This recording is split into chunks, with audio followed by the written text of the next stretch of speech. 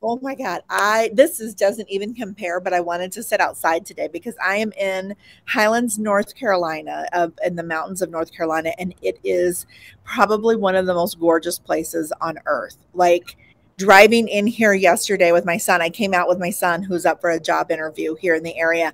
And we were just like constantly, oh my God, wow. oh, you know, like it, it was so hard. I, I can't wait to do the drive again when somebody else is driving because I wanted him to get that experience driving into the area, you know, to be able to see it all and not be the one driving that first time. So now he's got to drive me around a little bit. So I can. Ah! Oh, that's nice. That's such a good mom. I know. We were talking before we went live about how many amazing places there are in the world. And it's just unbelievable. We get stuck in our own little territory, but there's so much fabulousness out there to see. So hopefully he'll get the job. Yes. Wish him all luck. Yep. All right. Good luck to your son. All right. So let's talk today about being prepared if well i guess when your website crashes because it happens to everyone usually at some point correct it's technology technology fails and i mean it's not like a matter of i can make make sure that that never happens it's a matter of being prepared when it happens so that you don't have the stress, the strain, the overwhelm, the nightmare that I've seen so many people go through, myself included, you know, years ago before I really dove into web design as a business. And I wanted to start off really quick with um, just kind of a quick little story. And there's an interior designer, an author, and a coach, and each one of their websites crashed. So the interior designer, she was on kind of a mediocre hosting company that promotes really good stuff, charges high dollar, but her website started crashing on a Saturday evening every hour. And this was the day after she left a national conference. Oh. So you can imagine she's giving out tons of business cards, a presenter at the conference, you know, and her website is crashing, crashing, crashing, crashing. But she had a website plan in place she has a web designer, which is me, who is taking care of things. So on Saturday night, while she's having cocktails with her husband and enjoying her evening, I am adding a dinner party with my husband on my phone, addressing her website issues and getting her moved off of this mediocre co company, which was already our plan. We were just kind of waiting till the payment, you know, was expired, like her plan was done, wanting to get the most of her money but I'm getting her moved. And by Monday, everything is perfectly restored and everything is wow. working. So she enjoyed her weekend and I took care of everything for her because we have this maintenance plan in place. And now we have an even better maintenance plan in place because we got her on good hosting. Awesome. So, right. So then the author, this just happened Saturday, Saturday morning while she's sipping coffee. Her the server that her website was on was under attack. Someone out there in the unsavory world of the interwebs was trying to find holes to get in and use the, the websites for you know naughty purposes for lack of a better word there. So she's sipping coffee. I am alerted immediately about the attack. I'm able to get in with the the hosting company and make sure additional protections are put into place for her along with everybody else. Like they were on top of it even before I was because it's a great hosting company. And she got to sip her coffee and we made sure her website was protected. Right, because that's what she's paying you for. So uh, uh, that is that is the importance of paying somebody to do what they do best because I wouldn't even know what phone call to make. And here's the sad part of the story. The coach we built her website and she wanted to take care of it herself, which I'm totally fine with teaching people how to do that. Like, I'm all about empowering people with their website. If you want to learn how to take care of it, that's great. I will teach you how to do it. I will create videos and I will give you everything. But she didn't follow my recommendations. And she just messaged me on Monday on our drive up here to say, Hey, my website is down. Come to find out, her website had crashed six months ago. And she didn't notice for six months? Didn't notice for oh six oh months. Aww. So she's not on a website maintenance plan. So I don't have the things in place that I do for the clients who do. She didn't follow the recommendations and create her maintenance plan. She has no backup, no nothing. And she's going to have to get a whole brand new website. I want to cry for her. It wasn't me, that's for sure. No, no, it wasn't. Just so everyone knows, it was not me. I pay people to do the things I know I'm never going to do myself and that's just it. You need to have a way, website maintenance mm-hmm. plan. Whether you pay somebody or you learn to do it i don't again like i'll teach people how to do it but you've got to have something in place. And mm-hmm. i will be honest with you most people they don't do it because it's overwhelming because it's scary because they don't know what to do. But if you are that person that wants to learn i'm going to tell you how i do it and what you need to do to have your own maintenance plan in place. And if you're feeling overwhelmed get on my calendar and let's talk about a maintenance plan because definitely. you need, you need somebody who's going to take care of you and that's just it. Yes. Yes and let me add to that. If you're not well if you're in the beginning stages of your business this is often when you're going to try to do things yourself and that's totally understandable. But there's a certain point in your business that you should be charging enough money for what you do for a living in order to pay people to do what they do best. You know, you hear all of us coaches say, stay within your superpower. You can't stay in your superpower if you're not charging enough money for your superpower to pay people like Teresa to maintain your website, right? So, all right, let's go over this. I just had to add that in because it's really key for people to understand why do they need to increase their rates sometimes? In order to protect themselves against things like this and needing to hire someone who's an expert in this area. Right because like with the case of the coach if her website goes down she's either investing massive amounts of money into a new site yeah. or she is putting her business on hold while she tries to build a site. Either way the investment is huge whether it's time or money it's huge. And so that's i mean that's kind of why i wanted to share with this and talk about this today because you've got to protect yourself and you've got to protect that investment of your website. Whether it's a time and money investment it doesn't matter. You have to protect it.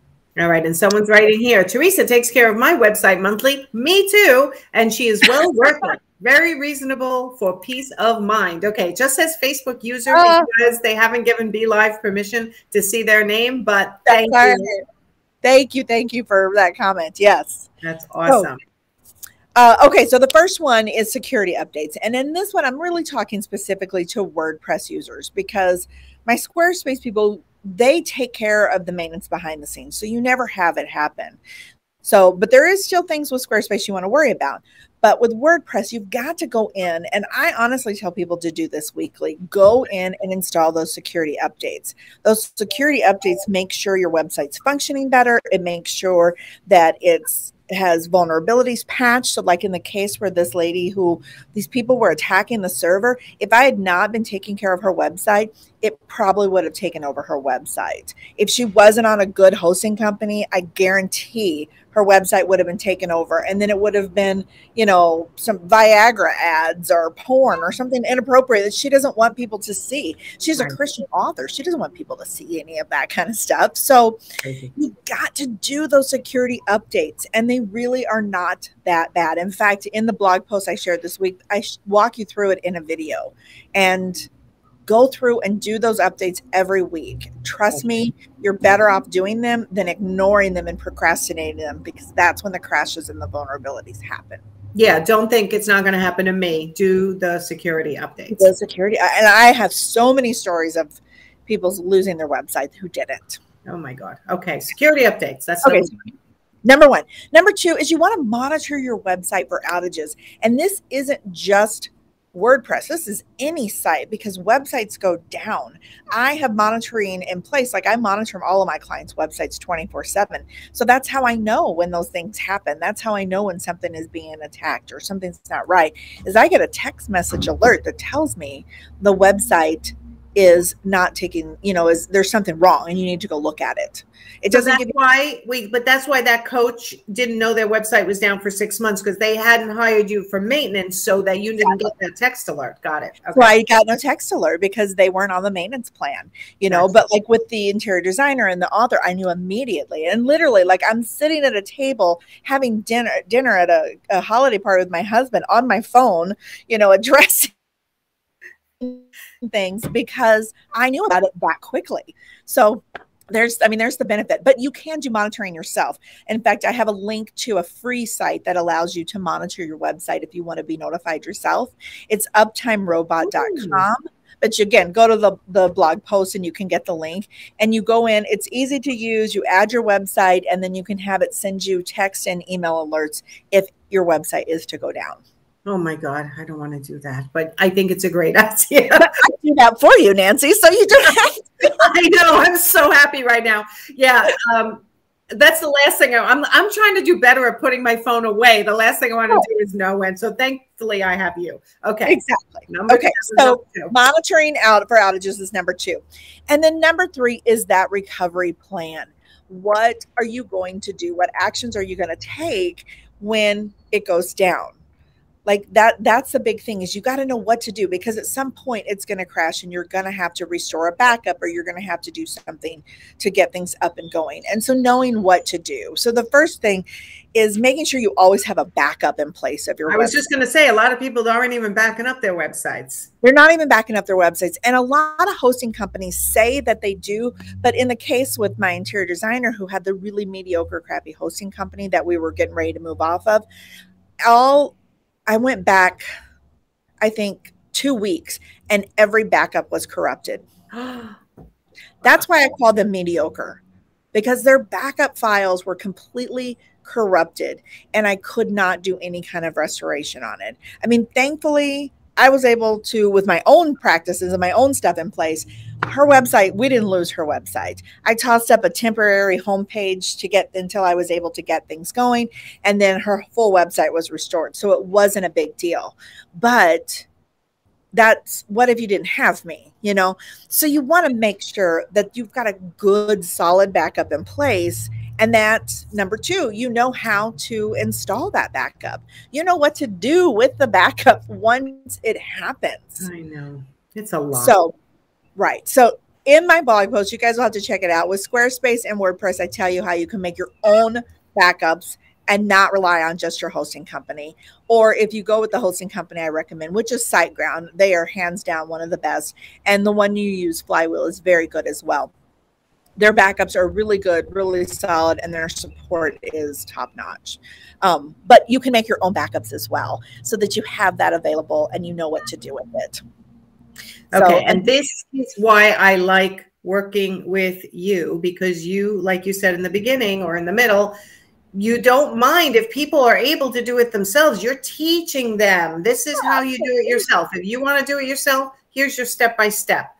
But no, at least learn enough to know what you're doing so you don't get stuck and then you end up getting the emergency phone call yep. and get hired in the last minute during a disaster instead of in the beginning when you can right. well, you know, and i'm just going to be honest in the last minute in the middle of a disaster for me to rearrange my calendar to work overtime basically and to help address it in the time that it matters you're going to pay a lot more right. because i mean it's it's emergency support it's you know I'm yeah. having to basically work a lot of extra hours outside of my norm to accommodate my clients and you. And so I'm going to have to charge additional fees for that because, and that's just because you're to have to make up not having dinner with your husband for this. I'm to have to take him to make up for that. So, but yeah, so I mean, so that's just the thing. But with this, like in my maintenance plan, they didn't pay anything extra to me because they're on the maintenance plan and it was just one of those fluke things. So my husband doesn't mind because it is rare that those Saturday nights happen. Right. It is very rare. Right. All right. It's awesome. All right. Go ahead. Yeah. One more thing. Well, I was going to say the last thing too about the backup, that backup recovery plan is even though you've got a backup downloaded and all of that, just in case the backup's corrupted, have an actual soft copy backup of your content, the written words on each page, the images that you use for your website. So if you do have the worst case scenario where you've got to rebuild your website, you have everything you need to rebuild. You have that for every site that you build? You have like everything on a separate that's actually i have most things but we're putting a new plan into place moving into the second quarter of the year where we're going to start doing more regular content backups for everyone. I'm just trying to find the most effective way and efficient way to do that for everybody Right. But you have where the backups are being done on a regular basis and good. Oh, I have, yeah, daily backups along with anytime we do a major update on the website, we download our own personal backup. Um, and plus, I have a few clients that want to keep a backup themselves. So it's a, I mean, it's so definitely redundancy, but um, we'll even do a third place as well and set that up for them to save a backup straight to their Google Drive if they need to do so. Right. Better safe than sorry better safe than sorry like always. I mean i have so much in place that again even with the one client whose website had corrupted backups i had enough content i could quickly design a homepage for her that got everybody exactly where they needed to be so that while i was working on restoring the full site nobody was going to a dead page because right. i had the content available. Okay all right. Awesome tips as usual. And I'm excited because we're in the process of redoing my website once again. and Teresa's handling that for me. Um, so stay tuned for that in the next couple of weeks or so. Um, that's going to be great. So thank you, Teresa. I love the fact that all your topics, I think 99% of the time, come with a blog that gives the step by step. So yeah. for everyone, go click on the blog link that I put in the description get on Teresa's calendar if you are finding that you are exposed to any of these security issues that that Teresa talked about because you want to make sure you know how to do it yourself or have somebody who can do it for you and not be the victim of what's going on with in cybersecurity and uh, you don't want your website crashing. That would completely stink and ruin your year yeah. or your month at least. Yeah we're busy enough as entrepreneurs. Let's not add to that by taking risks that are unnecessary Exactly. All right. Thanks, yeah. Teresa. So enjoy the rest of your time there in uh, North Carolina, you said, right? North Carolina. Yep. North Carolina. All right. Jealous as jealous can be. it looks warmer there than it is here. I'm sitting, I do have a sweater on, but I have flip flops on. Ah, oh, flip flop weather. Okay. It's it's right around the corner here in New right York. so, all right, everyone, go have a great Wednesday. And Teresa, I will see you next month and enjoy your time in North Carolina. All right, sounds good.